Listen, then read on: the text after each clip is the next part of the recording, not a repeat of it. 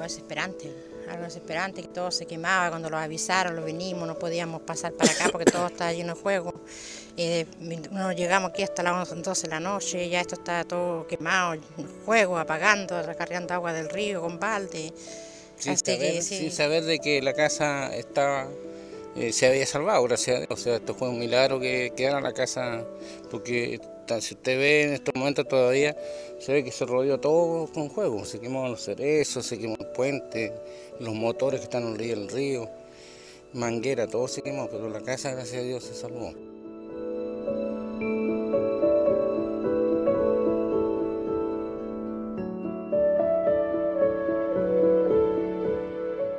Mucha gente malintencionada, igual por lo mismo que le tienen mal a los forestales, entonces queman los bosques, entonces yo les pediría de que esa gente con malas intenciones que se ponga la mano en el corazón y piense en el resto de la gente, que hay ancianos, hay niños que los perjudican, que quedan sin casa.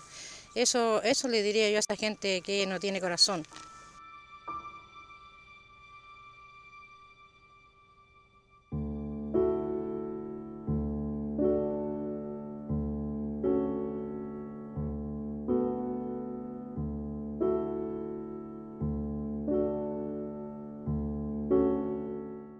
Se me llevó todo lo que tenía en mi casa, eh, cosecha, unas pocas, unas pocas lucas, como se dice, en el campo, y, el huerto frutal que, se, que era el sustento del año, se terminó todo.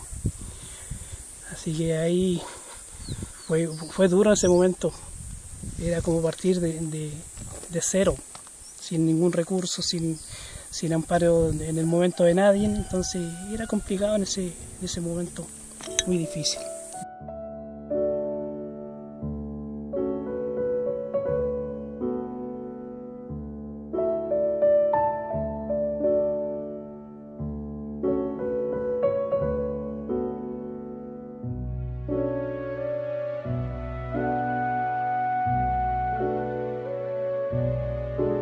Aquí nos encontramos la obra de arte que llama la, carretera, la autopista Elitata, y acá nos salvamos nueve personas, con niños de 8, 6 y 2 años. Llegamos de haber ido al 28 a ayudar a nuestros vecinos, corriendo con mi hermano y tomamos lo que, lo que pudimos en ese minuto y, y arrancamos para acá. Y aquí, aquí nos cobijamos y aquí nos dieron a nosotros por muertos como por seis horas, porque nadie podía creer que aquí con la velocidad y la furia del fuego estuviéramos vivos. Era imposible. Esto era fuego, ceniza, todo. Y cuando ya carabineros, bomberos, estos dijeron, no sé, aquí hay gente que están vivos. Mi hermano salió corriendo, dijo, ustedes se salvan, yo me muero, pero salgo de aquí, dijo, corriendo hacia arriba y salió. Llegó arriba un poco quemado y todo el cuento, pero ahí ya se supo que estábamos aquí y bajaron.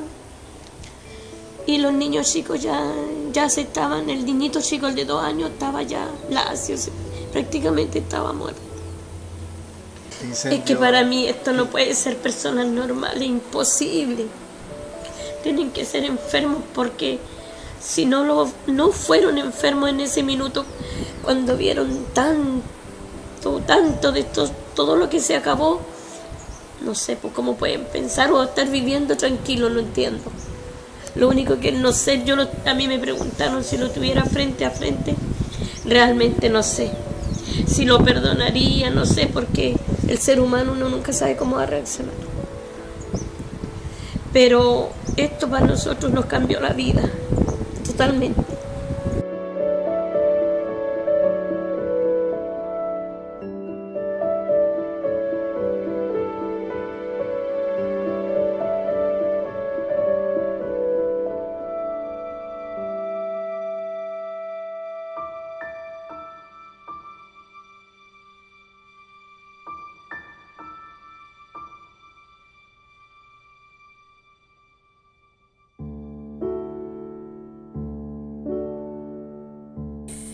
Perdí todo, perdí mi casa, mi hermano, todo, todo lo que tenía. Mis árboles, que era mi fuente de ingresos para poder sustentarme durante el año. Porque yo saco una pequeña pensión asistencial que, bueno, igual sirve, pero no alcanza para el año.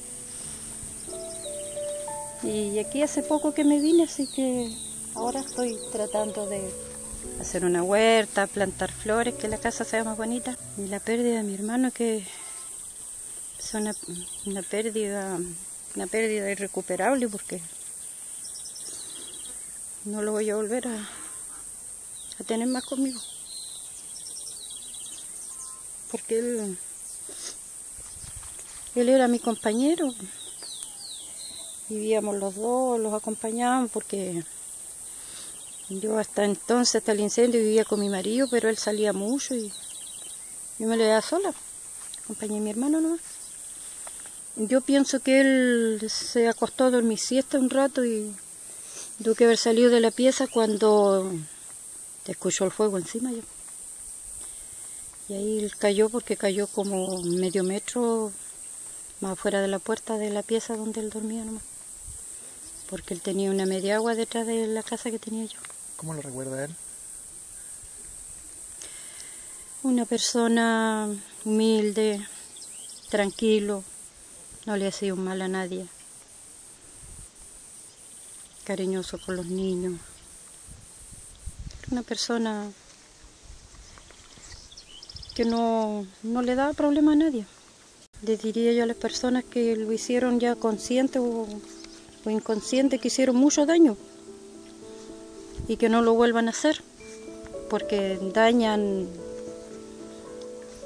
dañan el país, la dañan a uno como dueña de casa, porque provocaron mucho daño, tanto a la vegetación, porque fue mucho lo que se quemó. Entonces, el llamado es que se pongan la mano en el corazón y no sigan haciendo daño como el que hicieron el primero de enero, que todavía vamos a tener que trabajar varios años más para poderlo recuperar.